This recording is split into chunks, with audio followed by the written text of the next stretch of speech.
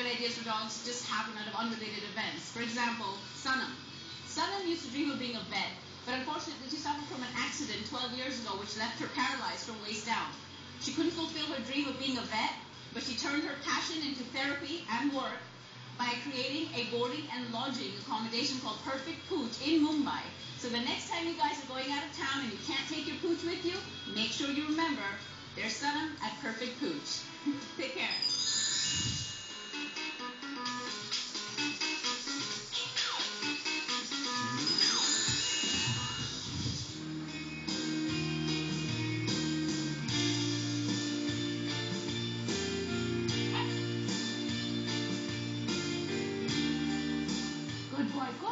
Good boy. Good boy.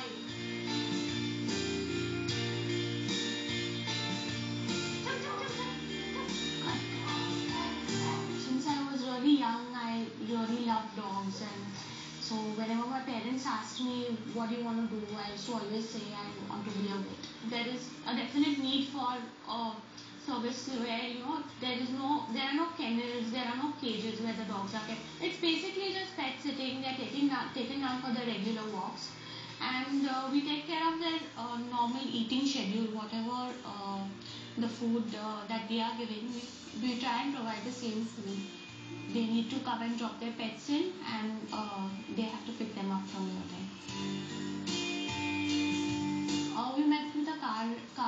accident on the Bombay Pune highway about 12 years back, and uh, my parents died the next day.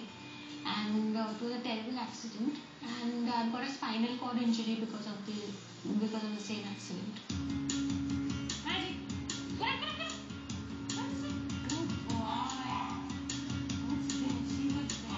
After the accident, I was I tried some data entry jobs and all, but they didn't pay that well, and uh, going out every day to I mean for a job was not very practical for me because I need somebody to shift me into a car or shift me into you know something like that. And sitting for long hours also I can't. So I basically wanted to do something which I could do from home. In the beginning I was very apprehensive that you know whether I'd be able to manage.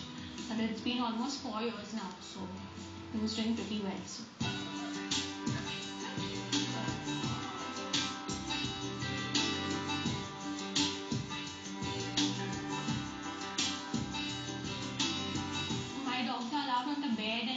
Everything. So even if I'm in the bed, they are they can jump up and you know things like that. So it's like a very homely kind of an atmosphere for them. And when I'm in the chair, I can play with them or you know things like that. I can't really get onto the floor with them, but yeah, I mean whatever bonding we have is great.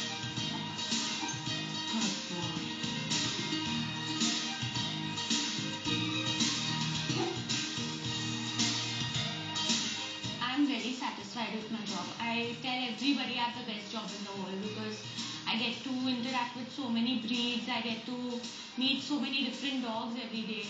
And it's always been my dream to be around animals, and I couldn't have thought of a better. Uh, I think probably it's better than being a vet also because on a, uh, for a vet you can't really bond with the dog. You just see the dog, treat it, and then it goes home. But with these dogs, they stay here sometimes for two months. Also, I've kept dogs. So you know you really get to bond with the and you get to understand them, you get to understand what their needs are. So in that way, I'm really, really happy with my job.